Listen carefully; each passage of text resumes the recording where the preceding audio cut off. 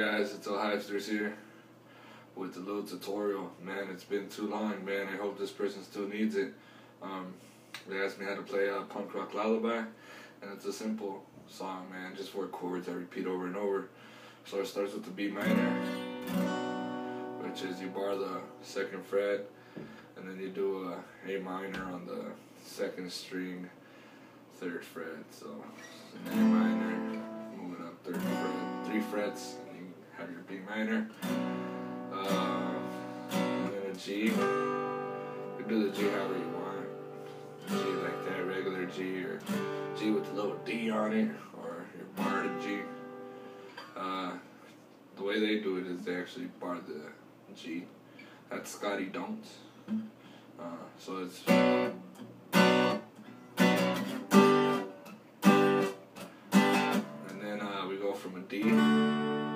To a D. To an A. D and A's are not barred. The regular D, two, three, and two on first, second, and third string, and A, two, two, and two on second, third, and fourth. And that's all the song really does. It's. And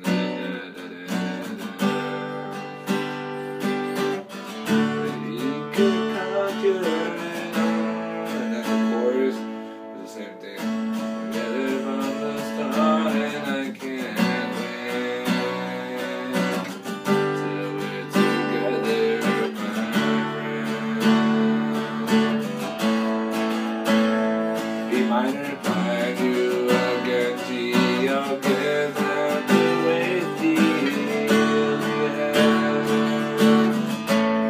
and the end is the only thing that changes. Uh, so then there are records of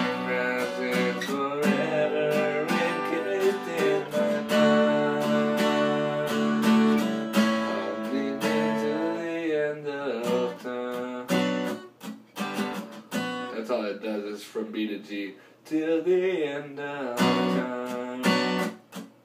G, B minor till the end of. I messed up, but it's from B to G. So.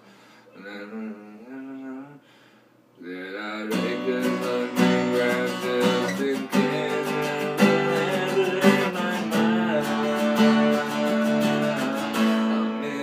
till the end of time. B minor,